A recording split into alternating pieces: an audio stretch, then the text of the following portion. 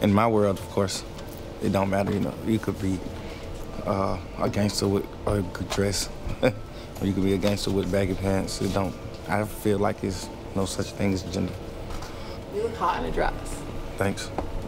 Thanks. Somebody got a dress. What the fuck?